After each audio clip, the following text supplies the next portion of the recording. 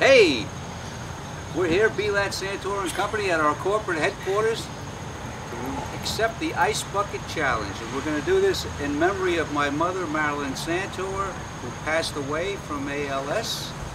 We're also going to make a donation to ALS. So on the count of three, we're going to all take the challenge. Are we ready? Yes. One, two, three.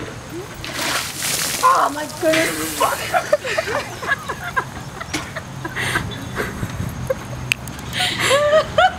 It's cooler than hell. Hey, thank you. Oh.